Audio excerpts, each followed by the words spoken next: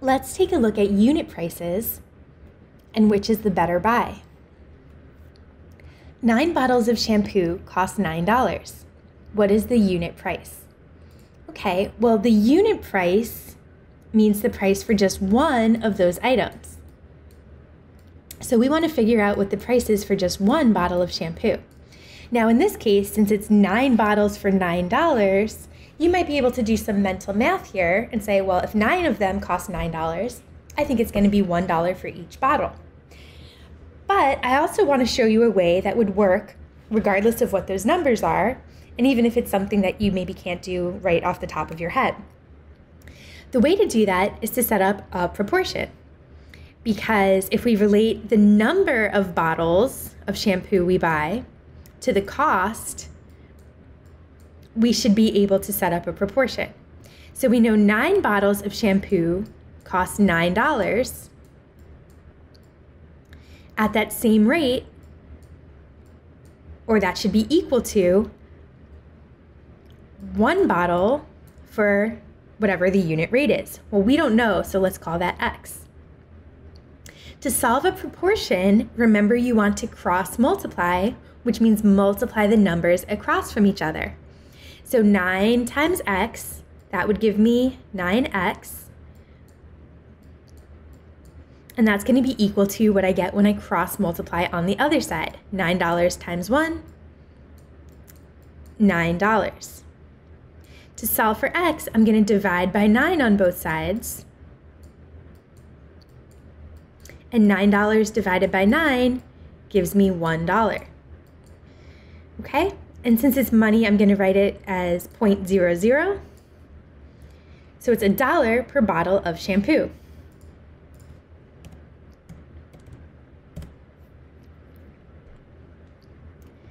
Three sponges cost $3.90. What is the unit price, meaning the price for just one of those sponges? Okay, well, let's set up a proportion like we did before. Let's relate the number of sponges to the total cost that you pay. Okay, well, we know three sponges cost $3.90. And I'm going to write that like this. We can put the, the dollar sign back on our final answer. And at that rate, that should be equal to, well, for one sponge, we don't know the price, so we can call that x. And now let's cross multiply. 3 times x gives me 3x. And 1 times 390 gives me 390.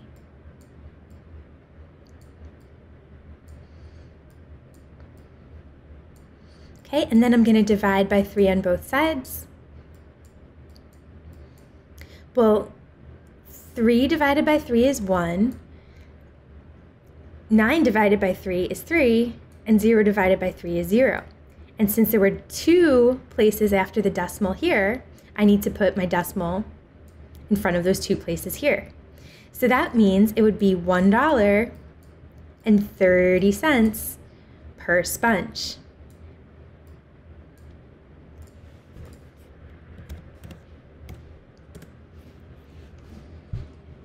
10 pounds of bacon costs $7. What is the unit price? Okay, so we want to again find that unit price, meaning the price for just one.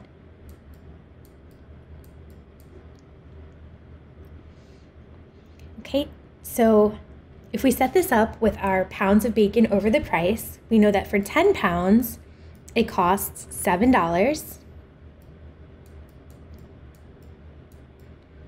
At that rate, how much would one pound cost? Okay, and then we can cross multiply. 1 times x gives me 10x.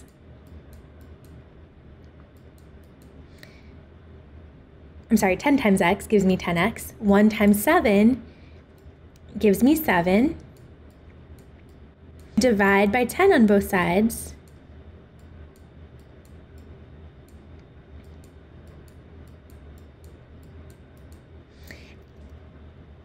And when I divide by 10, it's going to take one of my zeros away, right? So 70, and then I have to move my decimal point two places.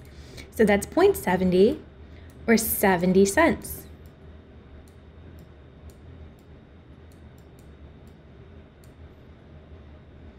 for each pound of bacon.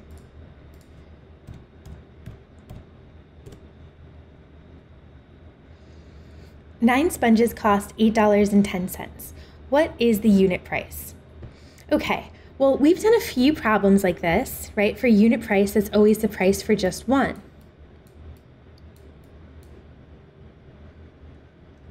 So one way to find the unit price is what we've just seen in the past few problems where you set up your proportion and solve. Another way, if, if we're finding the price for just one, this works, we can say, well, if we know for nine of them it costs $8.10, another way to do the same problem is to simply divide.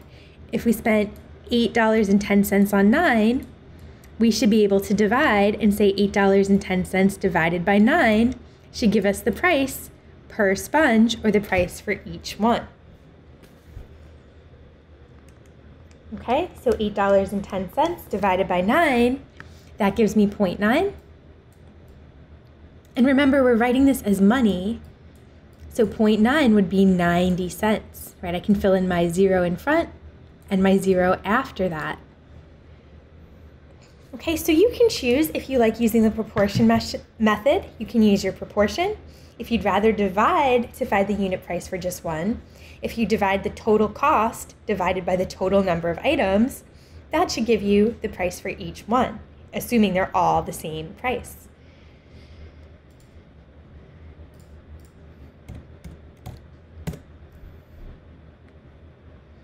Which is the better buy? eight energy drinks for $9.60 or 10 energy drinks for $9. Okay, well, to figure out which one is the better buy, I want to know the price for each one energy drink. So we could do this either way. We could either set up our proportion for each one, or we can simply divide. Since I want to find this for both, let's divide here. Now for eight energy drinks for 960, Okay, that means I spent a total of $9.60 for all eight drinks. So if I divide that by eight, it should tell me the price for each one drink.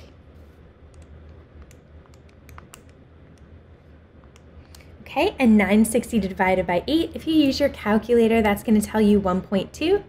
And remember, we're talking about money, so 1.2 would mean $1.20. We want to fill in that zero in the hundredths place. Okay, and that's for each drink or per drink. Okay, and then let's see what the cost is per drink for this one 10 energy drinks for $9. Okay, well, just like I did before, I'm going to divide the total price, in this case it's $9, by the total number of energy drinks we bought. We bought 10.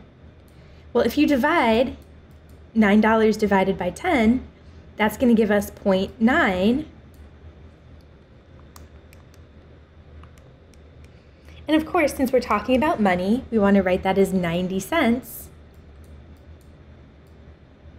Right? So we're putting our zero in, in the dollars place, and we're going to fill in our zero in the hundredths place. So 90 cents per drink is going to be cheaper than a dollar and 20 cents per drink. So the better buy if you compare these two, the better buy is going to be 10 energy drinks for $9.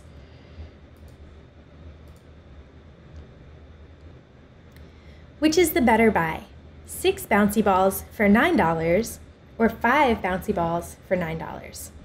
Well, in this case, since they're both $9, we don't have to do too much math to say six of them for $9 is going to be a better deal than five of them for $9 because for the exact same price, we're getting one extra bouncy ball.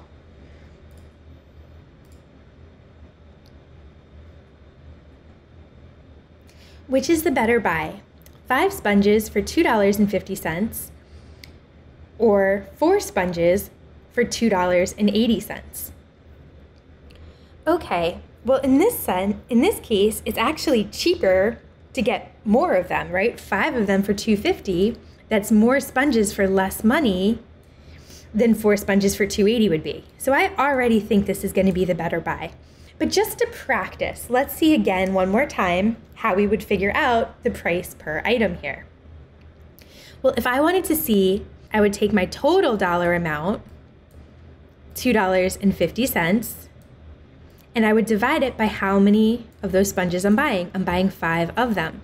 Well, if I divide 250 divided by 5, that's going to give me 0.5 or 50 cents per item. Okay, so this one, they're only charging me 50 cents per, meaning for each one sponge.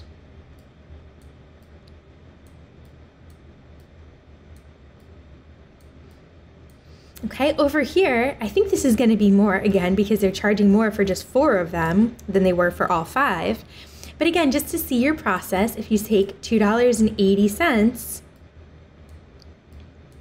if you divide that by how many sponges you were able to buy, if you divide that by four, that's going to give us 0.7 or 70 cents. So 70 cents a sponge is more expensive, right? 50 cents per sponge is going to be the better deal.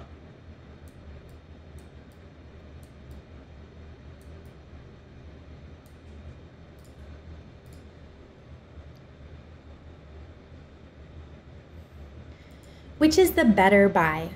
Six pounds of bacon for $9.60 or five pounds of bacon for $5.50. Okay, so let's figure out, to figure out which one is a better buy, I want to find the unit price, right? Because I want to compare, well, how much are they charging me for each one pound of bacon? And then that's a fair way to compare these prices.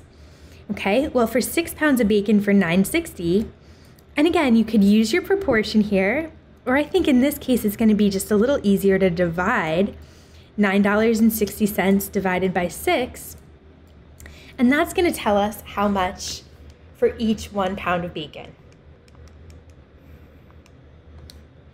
Okay, well, that gave us 1.6. And of course, since we're talking about money, we would think of that as $1.60, right? Filling in the zero in our hundredths place.